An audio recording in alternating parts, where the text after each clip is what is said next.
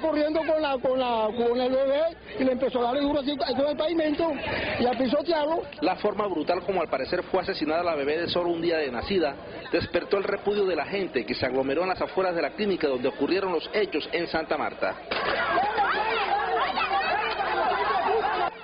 Cuando la policía sacaba detenida a la mujer, la turba intentó hacer justicia por su propia cuenta.